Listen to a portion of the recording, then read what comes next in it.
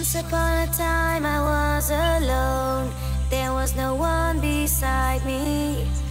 Everything I did was on my own. Why should I care? I was free. But then I watched you in the rain.